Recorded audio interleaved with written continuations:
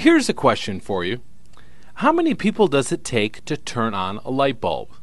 The answer seems simple. Just walk into a dark room, flip a switch, and instantly you can see, right?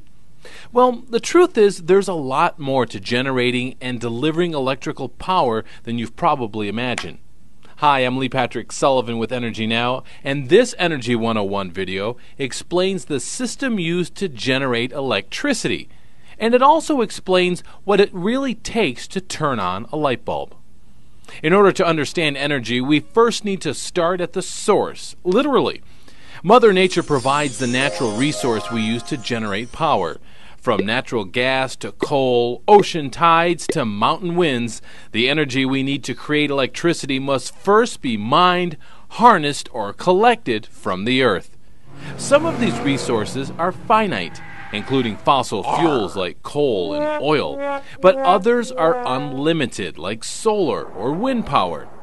But a lump of coal or a strong breeze alone won't create the power that turns on your light. For every energy source, a chemical or mechanical process is required to turn it into usable electricity.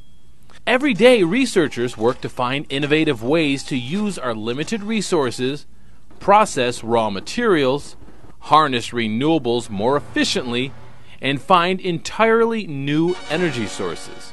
Today, the majority of America's electricity comes from thermal power plants.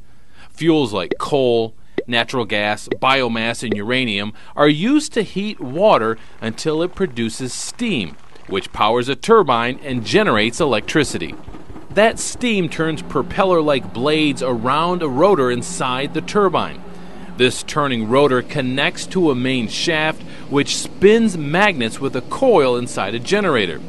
It's the generator inside a turbine that converts mechanical energy into electric energy and creates electricity.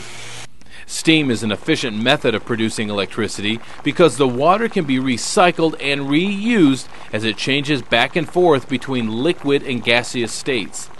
Transporting electricity from the power plant to your home is an entirely different process. Current technology cannot cost effectively store large amounts of electricity. So, significant challenges exist when it comes to transferring that electricity across long distances. Just enough electricity has to be generated to meet demand at all times and be transmitted through power lines to reach your light switch.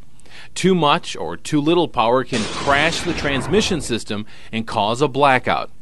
That's why a complex mix of logistics, management, and infrastructure is needed to transmit electricity from power generators to consumers. Enter the electricity grid, also known as simply the grid. The North American electricity grid is actually made of four large grid systems the Western grid, the Eastern grid, the Texas grid, and a grid covering the Canadian province of Quebec. These independent regional networks of power plants and transmission lines carry electric energy at high voltage within their area to local utilities. There are very limited links between the four grids, which means electricity generated from a wind turbine in West Texas cannot reach an apartment building in New York Forget City. about it. For electricity to move through one of the four grids, its voltage must first be increased by a device called a transformer. Then the electricity can travel long distances across high voltage transmission lines. These high voltage lines are generally strung between giant metal towers. They stretch for miles from power plants to local substations in each neighborhood. You've probably seen substations along the side of the road and wonder what they do. Well, their job is stepping down electric voltages from levels as high as 765,000 volts closer to the 110 volts you use in your home. The electricity from the power line on your street passes through another transformer, which steps down the voltage once more, and then it travels along the line into your house.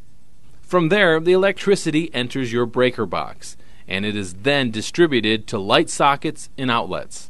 All you have to do is flip a switch. So, as you can see, from the raw materials to the power lines on your street, there's so much more to the electricity ecosystem than meets the eye.